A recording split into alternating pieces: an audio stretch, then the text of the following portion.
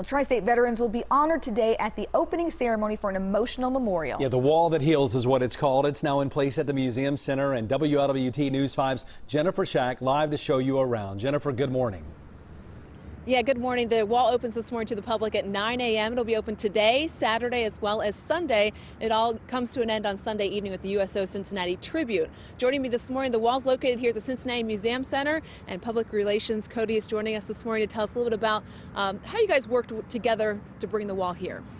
Good morning. Uh, well, it was actually kind of a perfect storm between the Museum Center, uh, the Vietnam Veterans Memorial Fund, and the USO uh, to bring this here, to bring it to a central location, and to also bring it to a location that has a rich history with the USO already.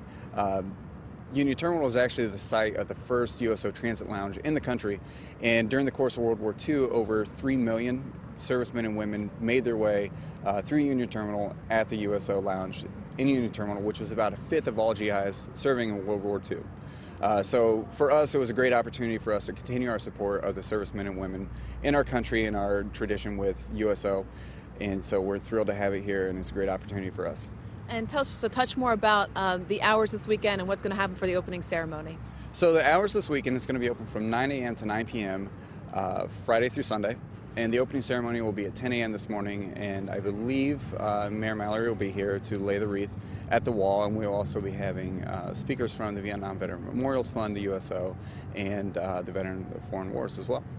Great. Well, thanks for coming out this morning, Cody, to tell us a little bit more about the Cincinnati Museum Center's role in this location here in downtown for the first time ever, it being in Cincinnati. Absolutely. There are over 58,000 names on the wall, and 762 of them are from right here in the tri-state. Reporting live at the Cincinnati Museum Center, Jennifer Schack, WLWT News 5.